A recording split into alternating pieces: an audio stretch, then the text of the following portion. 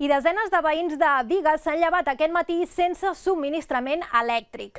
El motiu ha estat aquest accident de cotxe a la urbanització de Can Carreres que ha tombat un pal de ciment de llum general i ha deixat diversos barris de la població sense llum.